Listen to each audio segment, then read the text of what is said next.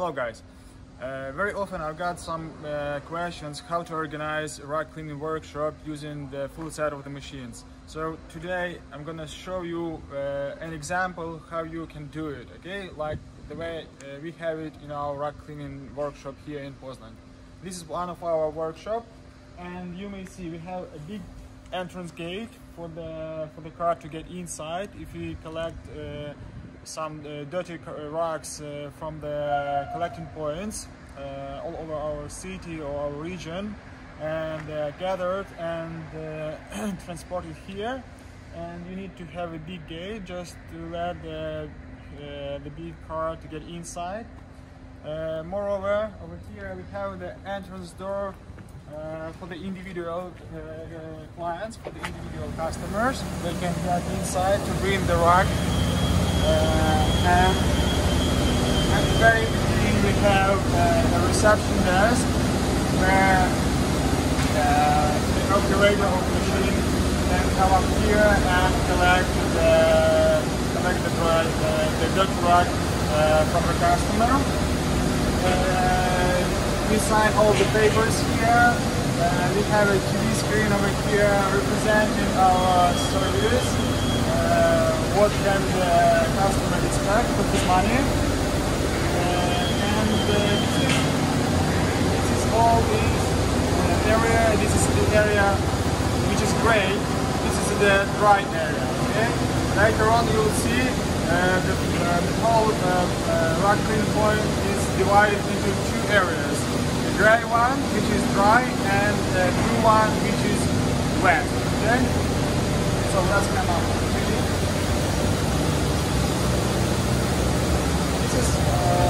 are the trolleys and this uh, here we keep uh, the dirty rocks uh, for cleaning, to be. Okay? This is Monday, Tuesday, Wednesday and so on. Okay? And the operator knows which day uh, he has to clean on the rock.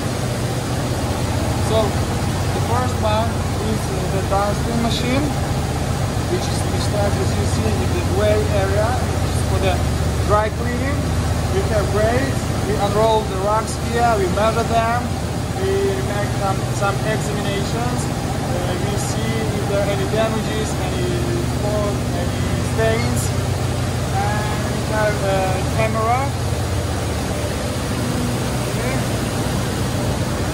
It is recorded all the time and you can make a picture and you can have some uh, disputes with some customer who says, who says oh, my rock uh, wasn't like this, I didn't have this and this, you can always uh, make a picture and show him, okay, this is your rock, it looks like that, like this, uh, when we get it, and right now it is clean.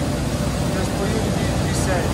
So this one, duster, uh, the rocks are measured and dusted here.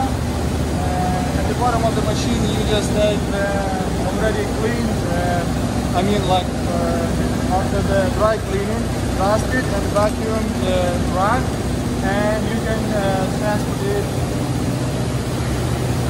to the tub. Here we have actually a small wash tub uh,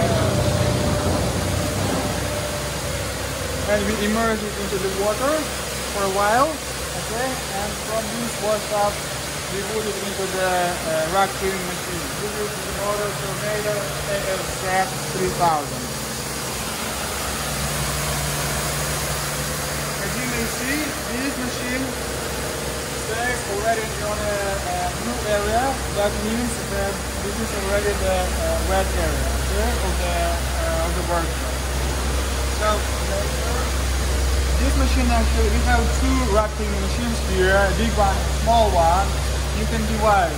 You can clean synthetic uh, and wool covers from one machine using one machine and all the other kinds the other machine or you can divide it according to the size, big racks, small racks, it's up to you how to organize it. But we have two machines working uh, at the same time.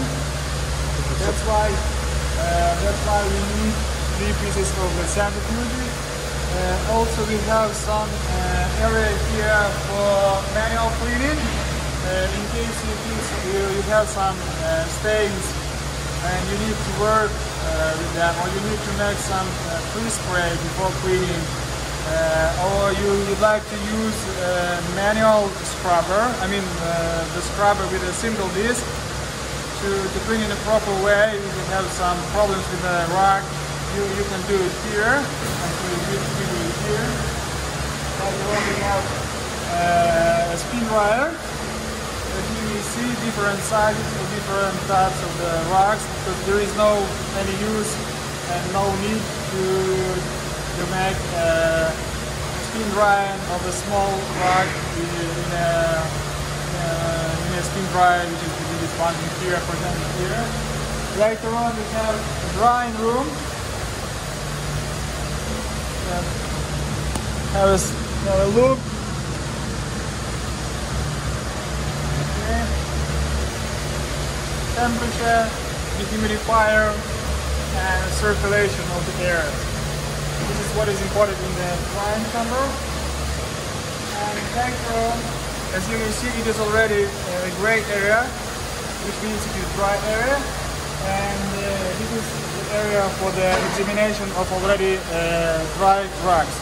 Okay, before you're gonna give it back to the customer, you need to check it, to check the quality of cleaning. We unroll them, we check the quality, if everything is okay, we use the, the Economic S3000 machine, which is for rolling and packing uh, the dry breads. Okay, dry rocks. You can you can watch video on our YouTube channel. Uh, I made a video about uh, about this machine and another one tornado for packing and combing. Actually, in this point we have this machine. And uh, one more, uh, one more, uh, one more thing I'd like to show you is the space where we keep already dry and clean